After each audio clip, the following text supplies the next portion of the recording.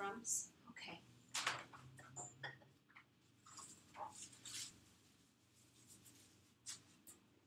So here's the fondant that I made yesterday. And I also have, um, I made this white one because I forgot to take a white piece out of this. So I made another portion of the fondant. This one has a little bit of a lemon flavor, which is going to be nice on the cake. So what I want to do is I want to take um, shortening and kind of spread it around the table. You can use your hands to do that. Make sure it's spread around evenly. Just going to take a little bit.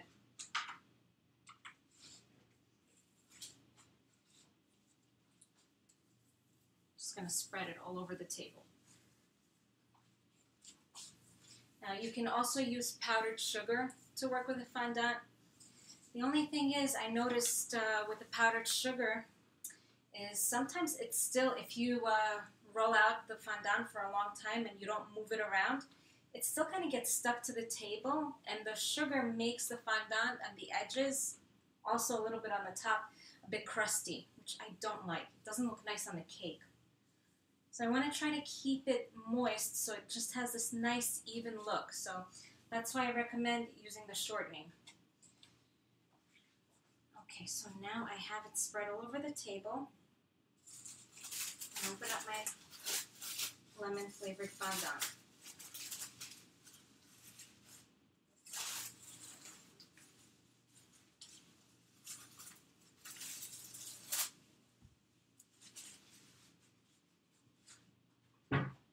You can use any roller that you have at home, but I recommend for you to get a fondant roller because it will roll out more evenly because this is completely straight.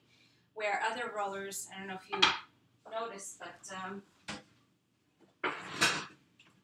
this is the roller I use for my pie shells and it's not completely straight. So it's a little difficult to achieve that straight thickness with this.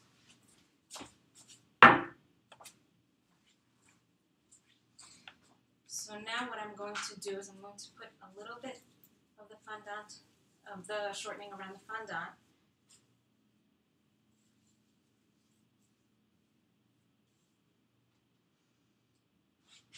Just move this out of the way a little bit.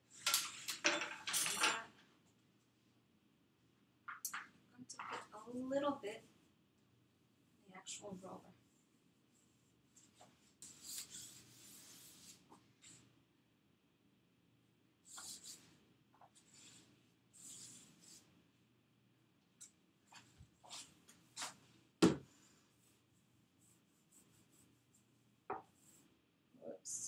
Getting stuck. Oops. Have to be careful now.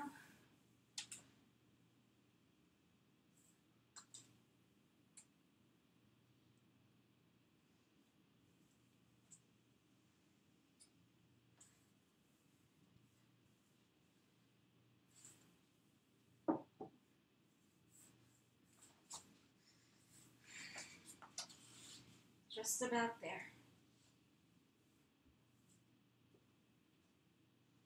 I know that bakeries have um, special machines that roll out the fondant for them. But I don't have a bakery, and that machine is very expensive. It Just takes a little extra time to do your own. It's not a big deal.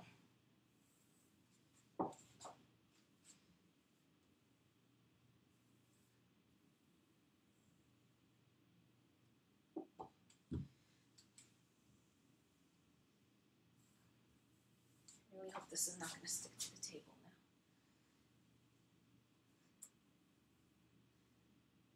now. Okay, so we've rolled out the fondant, and now I'm going to put this over the cake. So what I'm going to do is gently pull this back.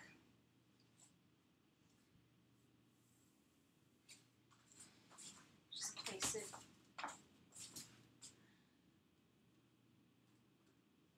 over the cake.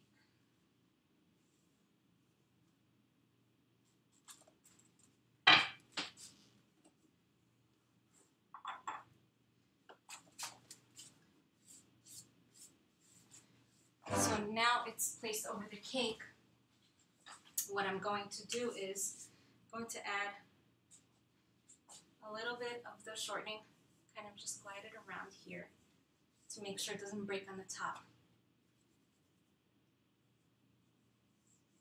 Just a little bit, not too much.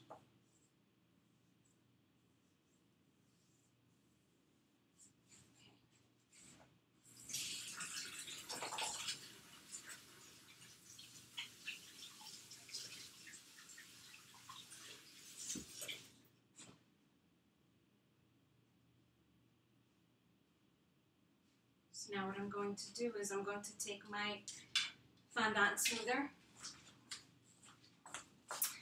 and I'm going to smooth this cake. Just gently press this down like that. Tuck it in a little and then smooth it on the cake very gently without breaking it. Try to place it as even as possible.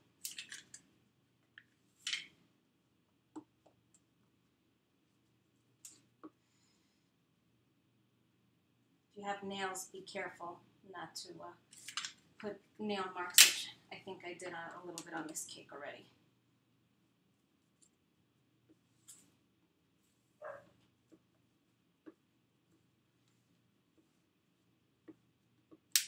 we go. going to press it against the cake.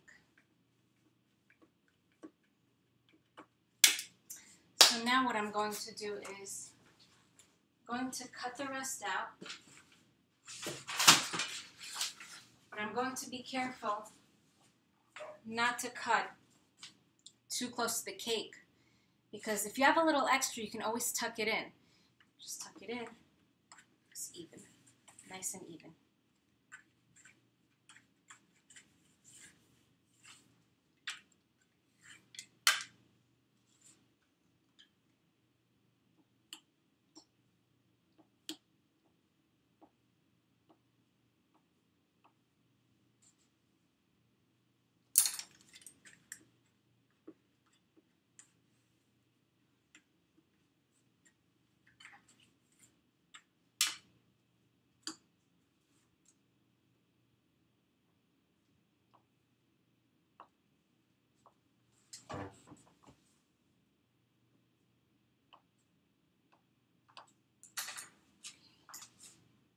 Gently place this back on the table.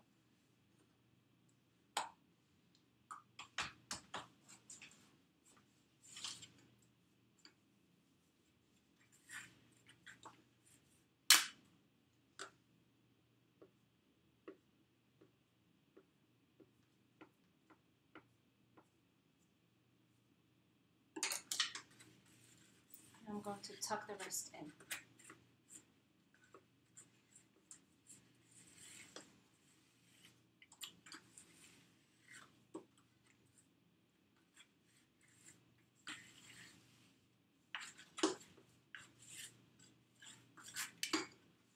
and see how pretty it's already looking.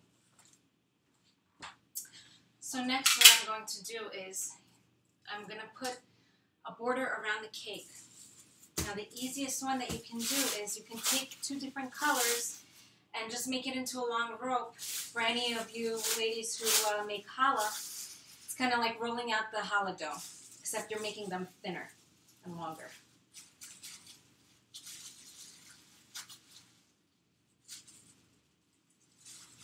Just gonna roll this out. I'm gonna take the white and I'm gonna roll it out now.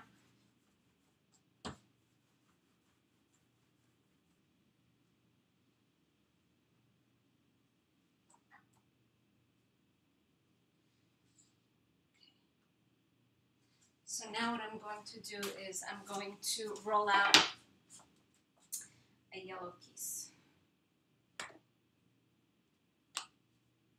Just going to take, um, see which one do I want to do. Just take this section right here. To mash it together again. It's kind of like um, working with Play-Doh. Except it holds a little better. You don't want it to actually feel like Play-Doh. You won't be able to model with it.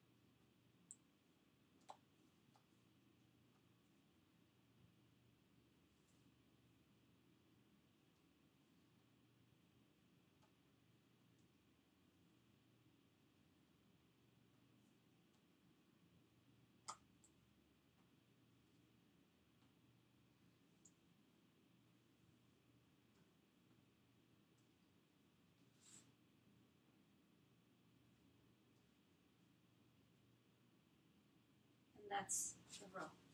Just going to put it around the cake like this. So now I'm finished putting the border around the cake, as you can see. Um, in my opinion, it's better to use the buttercream as the glue to put around the cake. What you can do is you can buy a brush, a brush set from Michael's Art World.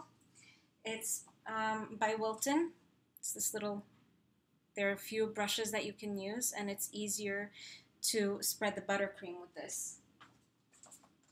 So what I'm going to do is I'm just going to put some white circles around the cake. So I'm taking, I took this cutter and I cut some white circles with it. And what I'm going to do is I'm going to put use another tiny one. This looks like it's about two inches, maybe one and a half inches, and this looks like it's about half an inch wide. So I'm going to just kind of put it off-centered a little so I can make this design. And then I'm going to just put a little buttercream in the back.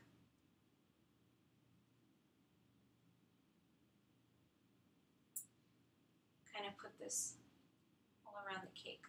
This will be a nice decoration. I don't want to do anything too fancy. I just want to dress it up a little. So just going to do some circles and that's it.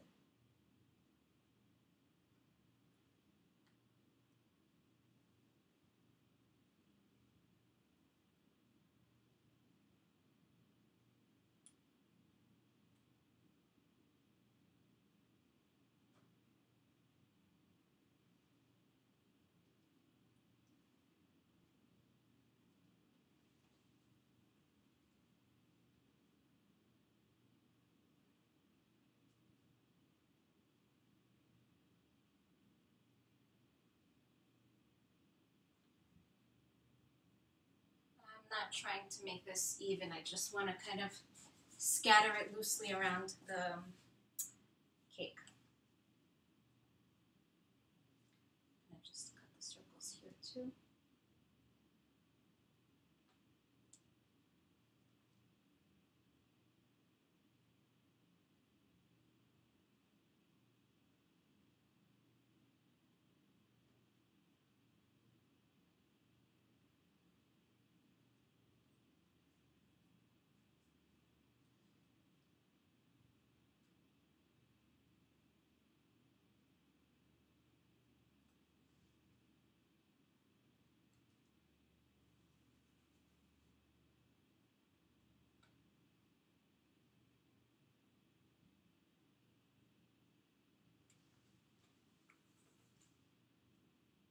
Just gonna kind of put this around the cake like a clock.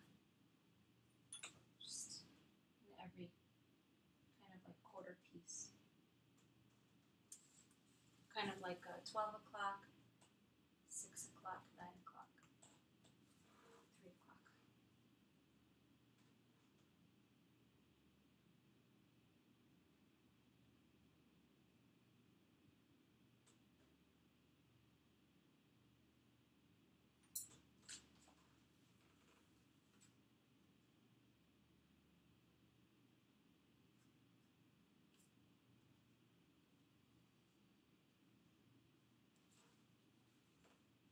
Okay, so now what I'm going to do is I'm going to take these little um, cutouts I took out and I'm just going to kind of attach that around the cake loosely, make a sort of decoration. I'm going to make some more cutouts with this as well. Have some stuck over here.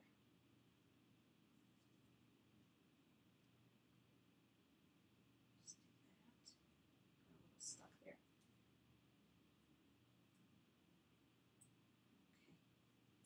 To make a few more of these cutouts.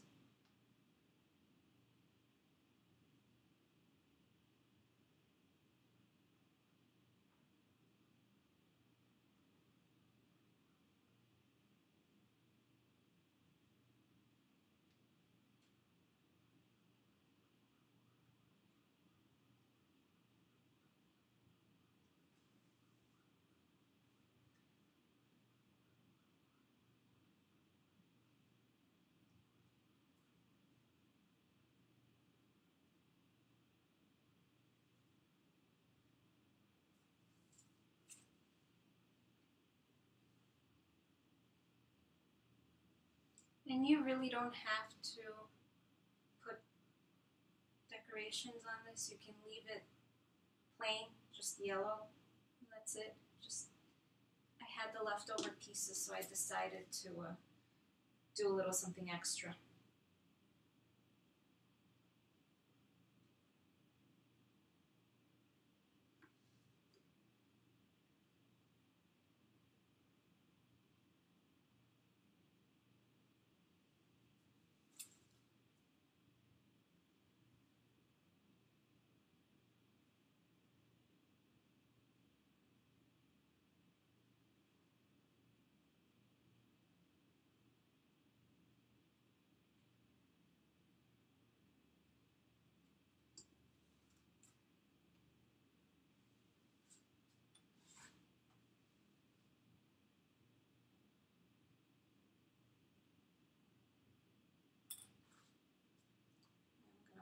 Last two, and that's it. I will be done.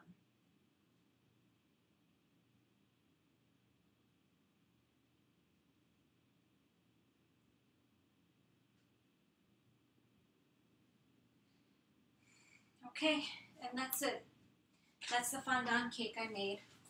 This is lemon layered fondant cake. It's nothing fancy, just a little bit of circles, and that's it. So when you're going to have dinner, you want to make a nice cake for Friday night dinner, for uh, Shabbat dinner, or any other dinner that you have. You want to serve something nice. Now you know how to make a fondant cake. You can make it for your kids' birthdays. You can do it for a special event. And again, it doesn't have to be anything so fancy. You can even do something simple like this, where it's just circle cutouts and just kind of glue it on, and and basically that's it. And it'll be a nice presentation, and everybody will be wowed by it. They'll think that it's something that came from the bakery, and it's just beautiful. And hopefully, it's going to taste good. So I will post a picture of this cake the way it is right now, and I'm also going to post a picture of it once it's cut through into the center, so you can see what it looks like inside. And uh, you can decide to double the recipe like the way I did, or you can just leave it as a two layer and you can still decorate it nicely. If you want to, you can just, uh, you know, use the buttercream. You can flavor it with a little bit of lemon, just as I did with this buttercream, and just leave that as the final layer if you don't want to go crazy with the fondant. So I hope you enjoyed this tutorial. And if you're going to try this out, I wish you luck. I'm sure you'll do great. It's not difficult. It just takes a little time just need to make sure that you save a little bit of time for yourself and not try to do this all at once. Thank you very much.